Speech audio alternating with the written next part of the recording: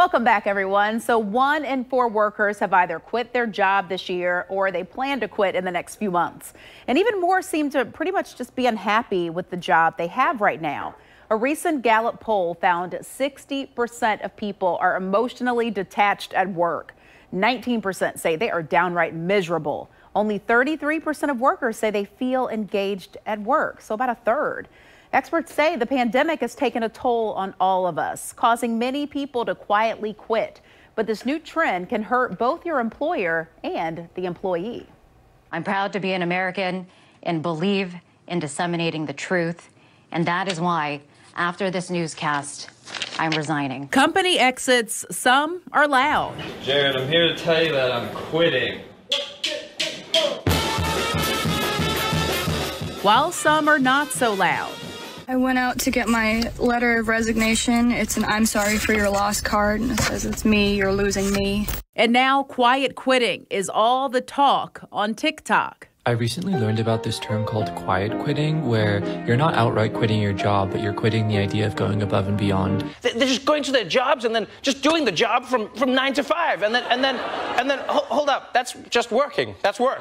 Quiet quitters do exactly what's required. No more, no less. No answering emails, text, or calls at night or on the weekends. The recent Gallup poll found the main reason for this trend unfair treatment at work, unmanageable workloads, lack of respect, inconsistent compensation, and favoritism.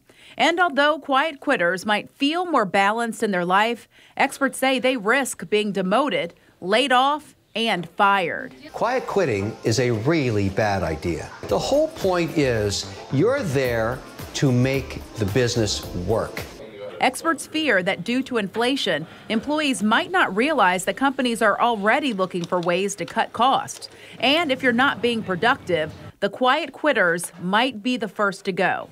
A better option if you're not happy at work, have frequent one on ones with your manager to discuss challenges and opportunities. Gather support from your coworkers and friends and be decisive. It's better to leave a job you hate than to hate the job you're in.